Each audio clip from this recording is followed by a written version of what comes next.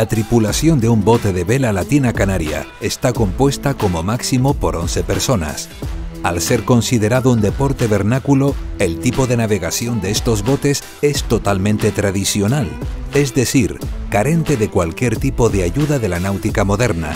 Todo es en base a la fuerza, maña y mucha experiencia, tal como se realizaba hace 90 años. Patrón, escotero, murero, cobrador son algunas de las denominaciones que cada puesto tiene en este tipo de botes. 11 personas, todas con un cometido en cada momento de la regata para sacar el máximo provecho a este tipo de navegación tradicional de gran plasticidad y espectacularidad. Hoy sabremos algo más de alguno de estos puestos de la mano de Ayose Ramírez, tripulante del bote Villa de Agüimet.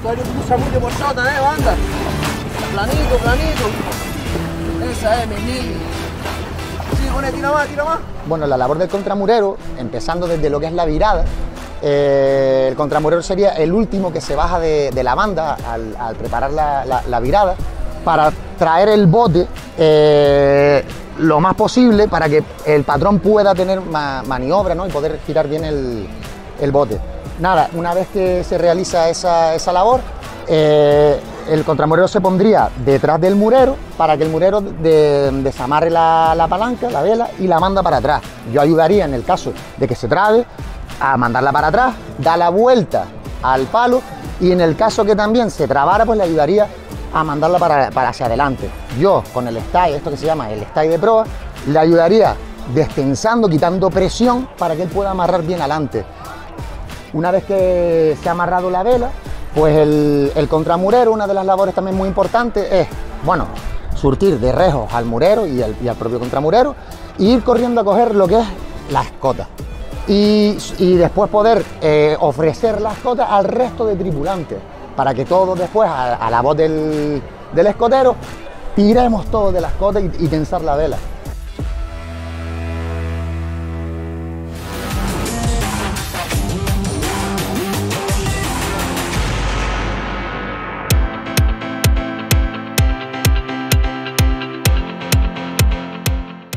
La Bahía de las Palmas de Gran Canaria acogió una nueva etapa de vela latina canaria. La flota botera recuperó el concurso Fundación Puertos de Las Palmas que fue aplazado hace unas semanas cuando debió dar inicio a la temporada. El concurso comenzó con problemas, ya que se demoró la salida casi una hora para esperar a que mejoraran las condiciones meteorológicas. El Hospital La Paloma Pueblo Guanche hizo el mejor tiempo de la tarde, el bote patroneado por José Ponce, que además celebraba su cumpleaños, completó el recorrido por la bahía capitalina con un tiempo de una hora 7 minutos 2 segundos. Pues un concurso, un concurso inesperado, porque estábamos todos aquí en tierra pensando que ya no íbamos a navegar, con un viento del noreste tirando para el sur, eh, con muy flojo, muy flojo, y que nada, ya pensábamos que no íbamos a poder competir hoy tampoco, y mira al final el tiempo que se ha quedado, tan, tan, tan bueno que es que hasta nos ha cogido un poco de imprevisto, a todos con las velas grandes, con pocos sacos, con tripulación liviana. Pero bueno, eh, el equipo se ha, portado fenomenal, hemos, hemos aguantado bien toda la regata, soltando escotitas, sabiendo cuándo había que apretar, cuándo había que aguantar. Y, y, bueno, pues al final creo que hemos ganado y muy contentos. Hoy quizás no me tocaba a mí llevar el bote, pues teníamos en el plan eh, otro tipo de cosas, pero al final, bueno, pues siendo el cumpleaños de uno y además me había tocado trabajar esta mañana, necesitaba hacer algo divertido y esto es ahora mismo de las cosas que más me divierten y necesitaba foguearme, así que bueno, pues, muy contento además por el viento que ha habido, por el esfuerzo de la tripulación, como lo hemos pasado dentro del bote, así que al final ha sido un día completo, un cumpleaños completo. A algo más de dos minutos entró el Spar Guerra del Río de Elenio Hoyos, que aventajó en apenas seis segundos al portuarios Puerto de la Luz. El bote patroneado por Juanjo Díaz salió en última posición y escaló posiciones negociando balizas hasta hacer el tercer mejor tiempo. Y bueno, una regata un poco complicada porque las condiciones eran con una dirección que siempre iba a ir un poco tirando hacia la izquierda, rolando hacia la izquierda. Y la verdad que, que al ser tan de tierra, pues estaba un poquito más racheado, subía mucho las rachas, bajaba y había que estar muy atento. Era un día muy complicado para las tripulaciones. Gracias a nosotros que tuvimos la suerte de la primera virada salir a, que salíamos últimos, irnos para tierra, intentar buscar esa, esa izquierda que queríamos coger siempre. y bueno, eh, esperando los tiempos, a ver si estamos ahí entre el segundo y el tercero. Creo que el Guanche es justo ganador, que es un regatón enorme y se fue escapando poco a poco. Y estaremos a ver qué, puesto quedamos después nosotros.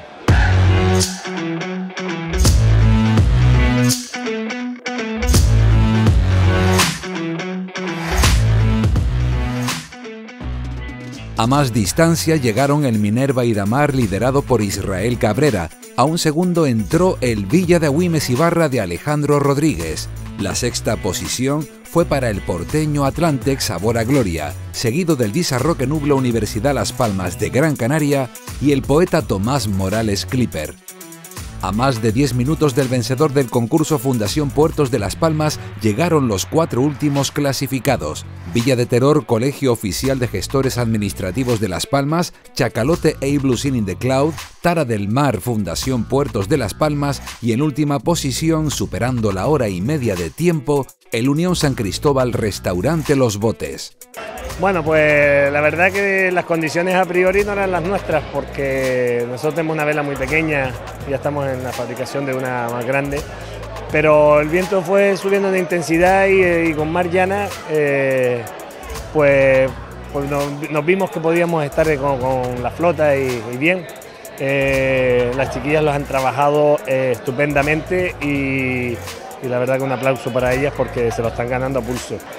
Mira, lo, la veo muy bien. Estamos intentando hacer un trabajo fuera de, de, aquí de las instalaciones, en donde recabamos tripulaciones, eh, tenemos charlas para poder ver los, puestos, cambiando, cambiando puestos, eh, viendo el material, eh, yo un poco asesorándole en todo lo que puedo buenamente y, y la verdad que lo están cumpliendo al pie de la letra y el resultado se, va a ver eh, no a corto plazo sino a medio plazo. Ya daremos un, par de sustillos eh, en lo que queda de temporada. Tras la disputa de dos concursos, el Hospital La Paloma Pueblo Guanche lidera la clasificación general de la Copa Isla de Gran Canaria con cuatro puntos, seguido de Portuarios Puerto de la Luz con cinco y Spar Guerra del Río y Villa de Agüimes y Barra con seis puntos.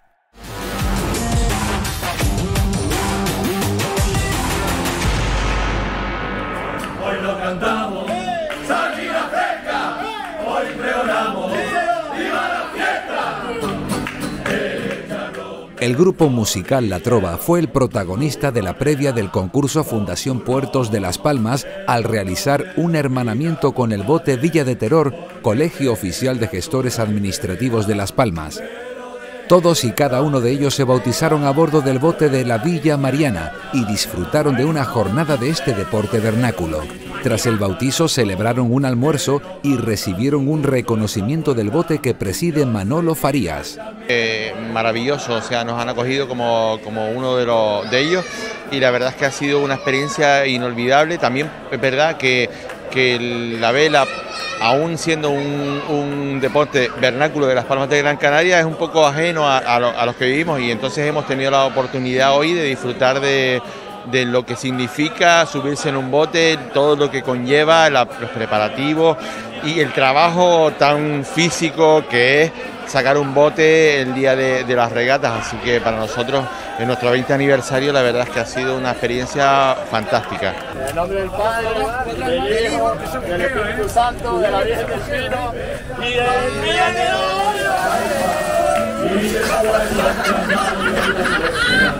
Yo no tengo la culpa,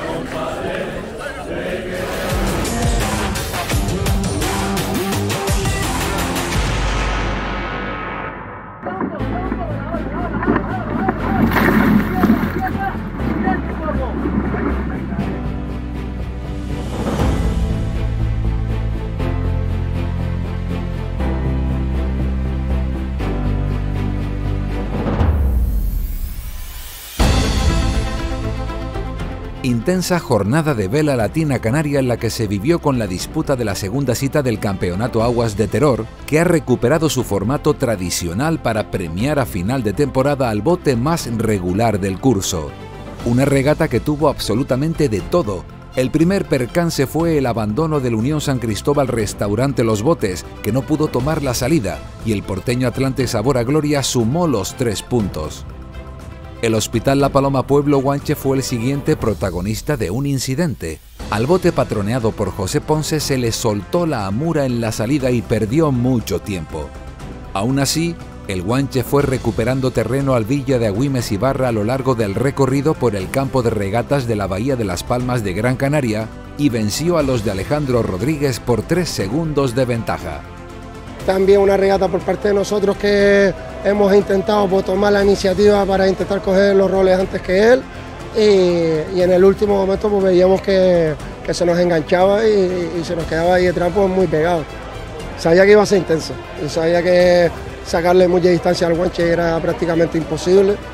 Tenerlo controlado era mi, iniciativa siempre, pero ha sido un bote que te digo, es muy difícil de separarse de él y, y tenerle una distancia. El tercer percance de la jornada fue del poeta Tomás Morales Clipper. Seis tripulantes del número 3 de la flota cayeron al agua al romperse el cabo que agarra los rejos. Pese a ello, los de Santi Ceballos se recuperaron y pelearon hasta el final con el Tara del Mar Fundación Puertos de Las Palmas, decidiéndose la pega por 5 segundos a favor del bote patroneado por Agustín Juárez. Pues hoy en la primera virada, la gente de la banda colgarse, se han roto los rejos de pulpo y bueno, se ha ido prácticamente toda la tripulación al agua, hemos tenido que parar, ir a buscarlos y luego pues no podíamos colgarnos. Y bueno, ha sido una regata bastante dura. Pues nada, siempre, yo siempre lo he dicho, hasta el pitido no es el final, así que bueno, hemos intentado motivarnos unos a los otros y bueno, salir para adelante.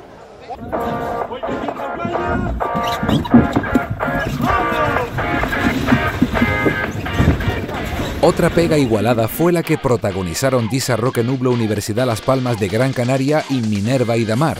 Los botes patroneados por Adai Rodríguez e Israel Cabrera mantuvieron una reñida pugna por toda la bahía capitalina y la escoba se terminó llevando la victoria por tan solo 11 segundos. Complicada, pega complicada, salíamos detrás y con estas condiciones pues todos los botes vienen bastante bien, ¿no? Él encima hoy la verdad que tenía una, buena taifa y fue prácticamente imposible pasarlo. Sabíamos que iba a ser una regata de mucha paciencia y que quizás entrando detrás eh, pues pudiéramos ganar por, tiempo como así fue. tuvimos la paciencia, mantenernos siempre detrás, siempre detrás.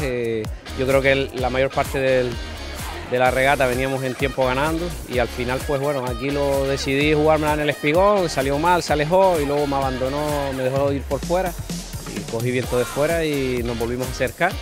Faltaba un otro incidente. Casi a la altura del barranco Guiniguada, el Villa de Terror Colegio Oficial de Gestores Administrativos de Las Palmas trabucó y perdió un valioso tiempo en su pega con el Spar Guerra del Río. Los de Adrián Morales se impusieron por más de 18 minutos a los de Cristóbal Peñate.